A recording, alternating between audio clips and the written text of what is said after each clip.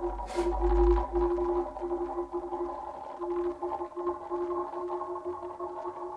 you.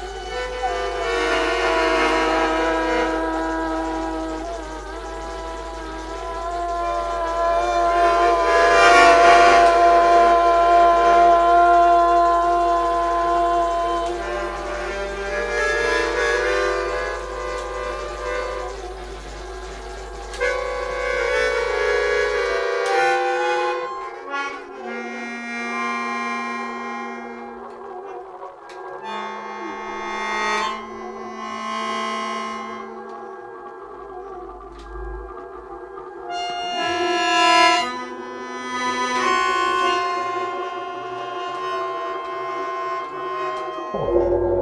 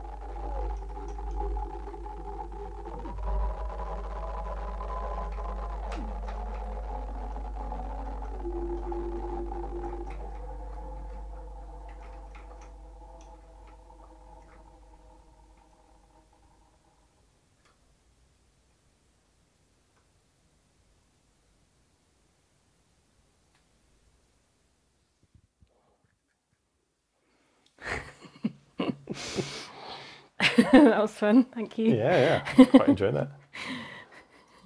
Um, one thing that I guess I wanted to ask you about is is I guess how you conceptually approach like processing organic sounds. So in this case, there's, there's quite literal organic materials there, but also your voice. Like there's kind of a parallel of. I mean, I don't know what kind of sound the, the dirt makes or whatever, but like how do you Yeah, approach yeah. processing like organic sounds? I guess as I can. Um, well, that's a yeah, a good a good question to start with, probably. Yeah. Um, this is quite a new experiment that I've been something that I'm developing um, for Adam Swain for a commission from Adam Swain for a, a piece for piano and multimedia, um, and I've basically got this kind of breadboard here, and I'm using the soil um, as a variable variable resistor in a circuit. Um, so the sounds that it actually makes on its own are maybe not that interesting, but it but the fact that it's very unstable is interesting. So you can't really can't control it. Like if you start to con- try and control it, then Yeah, yeah. it's it's it's not going to behave at all. Hmm. So so it's trying to embrace the unpredictability of it, I suppose. So um, in my patch, um, I'm tr- I'm at once like trying to make the sounds more more kind of interesting, um, but also trying to kind of account for any technical things like it might suddenly go really loud. Or, Yeah, yeah. so I've got kind of protections in place for that. Um, Mm. But I've tried lots of different like analog processing, and ended up with a digital pro- processing, which I'm not sure I'm happy with as an end point. But aside from like investing in loads of really expensive pedals, like granulation pedals and Mm. stuff, um, it was the best way to test out Hmm. what those kinds of processes would do. So I've got some different granulators um, and like different harmonic filtering that is kind of randomized. And, and I think I, I wanted the soil to sound like it was alive because it Yeah. is. It's got so many tiny things in it. But Mm. um, so I kind of like the idea that you can hear all the tiny um, microorganisms Hmm. moving around. Although actually, what you're listening to is how conductive Yeah, yeah. it is. Which has an impact because I guess if, like as things move around or or whatever's in there does its thing, like this will affect. Yeah. Um, I guess the voltage that's coming out and, and subsequently for the, the rest of your system. Mm-hmm. Um, it's kind of interesting because there's almost like a contrast there between like uh, the lack of control in, in sort of the earth or dirt. What what do you call it? Dirt. It's soil. Soil, that's This soil, word. by the way, comes from a very specific tree in Okay. Alexandra Park in Manchester that Right. ha- sadly fell down. All right. Um, it's one of the lime trees in the avenue. Okay. People that know that park. Right. um, so I wanted to take something from there yeah. Yeah. because they're really old trees, like over hundred years old. Yeah. Yeah. Yeah, um, and they've been falling down because the the ground's got really waterlogged. Hmm. So yeah, I'm think, thinking about memorial Yeah. um, Yeah. through this other piece that I'm making, and this has become a kind of improvising setup as well, I suppose, which is a nice way to in- investigate, Yeah. um, Yeah. experiment with. And. I, I, to kind of chase that tangent a bit, like what Mm. came first, the the the felling of the tree, um, or your desire to work with soil? Oh, actually, the the soil. Um, yeah, because I've been working on this project, um, running running a project called Below Ground, um, over the last year, which is a collaborative project working with interdisciplinary um, specialists in subterranean things. Right. Okay. So that's included like horticulturalists, ecologists, uh, geographers, um, and it's been kind of exploring what kind of sounds, movements, multimedia ideas could arise from a kind of study of underground things. Hmm. Um, and David Birchall, who's one of the people who's been working on that project, um, was the kind of the person that brought some soil into one of the sessions, um, and we had that on sitting on a loudspeaker, and um, a transducer microphone on my neck. We Right, were okay. making the soil bounce. Yeah, yeah. And so that was a kind of a visual thing Mhm. or kind of visualizing sound in a way. Um, so the soil kind of comes out of that project. Interesting. Okay. Um, and then when Adam approached me to write this multimedia piece for piano, the, the starting point was memorial. right. Okay. And I thought, oh, this is, I really want to connect the, these, these Yeah, things. yeah. It's, it feels right to. Yeah, yeah. Yeah. I mean, uh, it's something that I guess like humans. I guess for as long as humans have been humaning, Mm. uh, you know, we often put you know our dead in the ground. Like it's like a, Yeah, like a, a very common thing across a lot of different cultures. Um, where I mean, I don't know enough about why that's across so many cultures why that's the case, but um, it's kind of interesting that like that the Earth is sort of like a place for memory or a place where like time stops. Mm. Yeah. It often is the opposite case 'cause there's so much stuff down there, but the way that like Mm. as humans we interface with Earth is often that way. Definitely. And then there's also the thing about um, soil being so vital to us, but we take Mm. it really for granted. But soil can die. Yeah, yeah, um, so there's there's something there as well about like, um, yeah, definitely like thinking about I don't know, just the whole sort of cycle of everything. yeah, yeah. That's yeah, a bit too like too big to say in words almost. yeah, yeah. I mean, it's it's a it's an area rich with uh, surface area for like metaphor and meaning. You know, like just uh, memory, death, soil, Mm. Yeah. ground. You know, above, below. Like Yeah. there's a lot of. Uh, yeah, It's very charged as as a yeah, definitely. as a kind of a vector for creativity and stuff.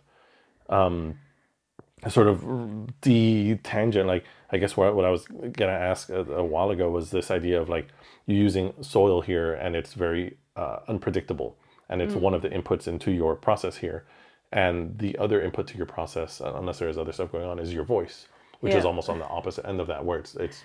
I mean, there's processes that are uncontrollable, but you can you're quite literally it's you in control there. Like the are they doing two completely separate like paths in your instrument here and or how do you relate to having like a fully controlled input and a fully not fully uncontrolled but like a very uh random-esque input into your instrument Yeah. instrument Interesting. Well, I mean, obviously, yeah, the voice can respond to any Hmm. sound and situation.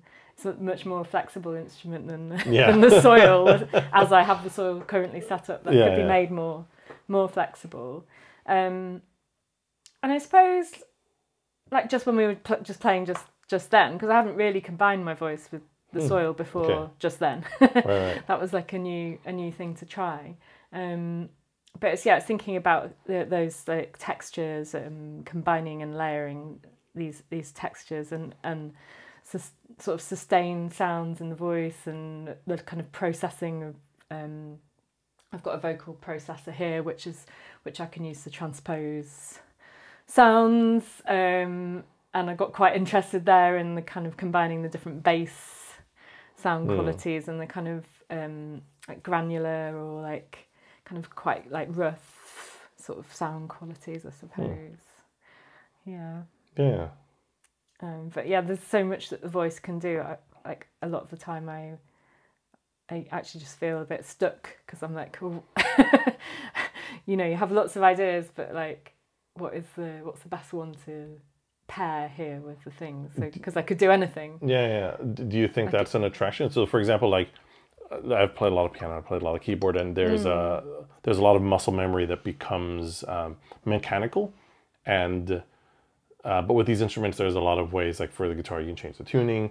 Uh, with key, you know, there, there there's, there's ways that you can still use some of the muscle memory, but decouple it from the sounding result. Yeah. Whereas with the voice, that's a lot less the case. I mean, I, I guess you can have techniques and implements and stuff, but like, is that something that you then, I guess, really seek out as a in your practice as a vocalist? Is this um, having something that either interferes with uh, your intention and result, or just gives a different sounding result as perhaps as like a feedback um, mechanism or something like Yeah, I mean, I was quite enjoying just then that I'd wired up my looper and my um, voice transformer in a different order to what I'm used to. So actually some of the results were not quite what I expected. Right, like, oh, okay. it's the, they're because they were in the different order. Yeah, yeah. Um, so I think, yeah, like there's a, there's a way of exploring new areas definitely Hmm. when you when you kind of you don't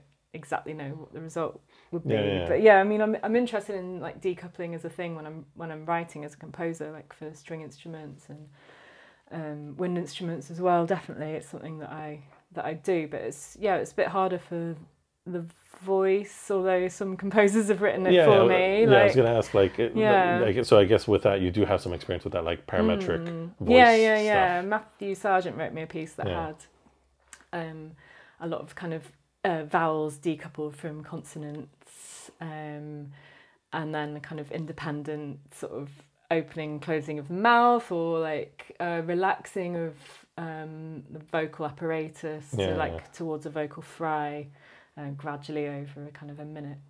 Um, so yeah, there's lots of these Yeah, yeah. things that are possible. How, how do you? I, I mean, uh, we're getting uh, super tangent on it, but like I'm Yeah. because it, it's it says uh as an instrument because I'm thinking also like people like Aaron Cassidy who also has a lot of this like very parametric stuff. Mm. Yeah. Whereas it's like it's very alien to think of a, a fingers as separate or bowing direction and speed and orientation as Mm. separate. But it's like I think it's more conceptually doable than with the voice because we we're so like speaking all the time. All of these things are so tightly coupled that it, it like as a performer how like how did you approach decoupling that like you know Well, that was that was a really interesting process for that particular piece, um, um, because I literally just separated out the elements, and I think that's what a lot of, of Yeah, the yeah. performers have done. Like, so I think, um, so yeah, Aaron Cassidy's piece, I spat Yeah. purple's laugh of beautiful lips. I think it's called. um, um, I know Jeffrey Gavitt's written about the kind of decoupling of, of these of these elements Hmm. in the voice and and like how you can sort of learn them separately and then try to pile them up together. And that's Yeah. definitely the approach that I've taken, like try and learn each one. And but it's the it's the jumping off yeah yeah at the end of it that I absolutely love. Like I really Yeah. enjoy it because it's a kind of it's a real kind of like brain twister. yeah i would think is like it's it's the thing that we use the most as humans is is our voice like to to Mm. communicate to sing to like like it's it's in constant Exactly. use and in a very coupled Yeah. and organized manner that that yeah And but it's such a like a an enormous resource of sounds though, which which becomes a bit overwhelming sometimes. I think because you you know you can you can imitate a lot of other things. You can you know there's just so many possibilities when you especially when you think about using text. Um, so I think like in an improvising situation, it's good to have things to bounce off or things to kind of pair with in terms of like um, finding a focus, maybe. Yeah, yeah. I, I, yeah, I mean, because it, it quite literally, like the the sounds that can come out of your mouth can be like every Shakespeare sonnet. Like it's literally all languages is exactly. on the table. You know, Yeah. which is like that can be a bit overwhelming. Yeah, yeah. so limiting it just a bit from that is probably Yeah. quite useful.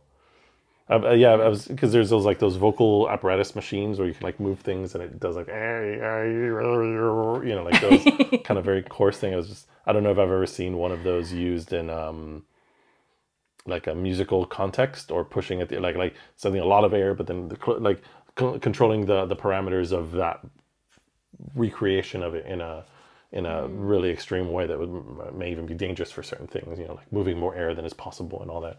Probably sound kind of interesting. Yeah, probably would. probably a bit too dangerous for the vanilla voice.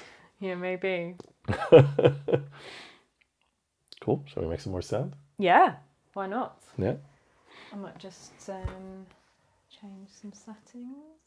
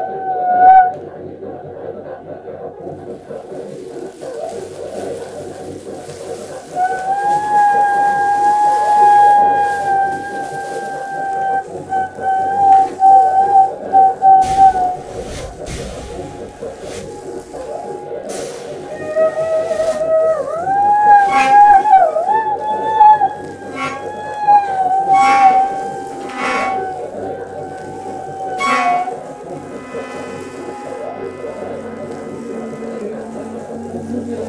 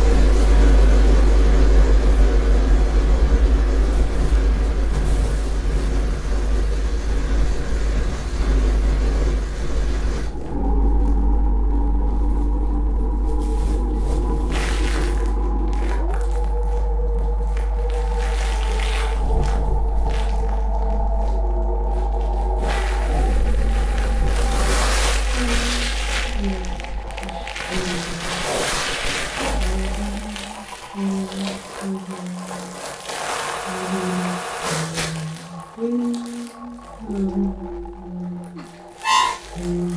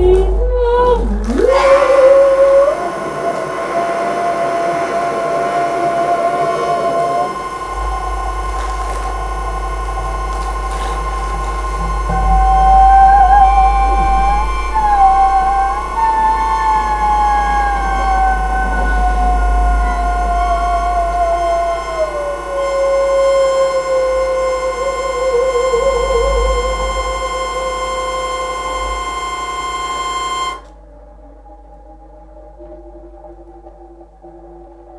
you.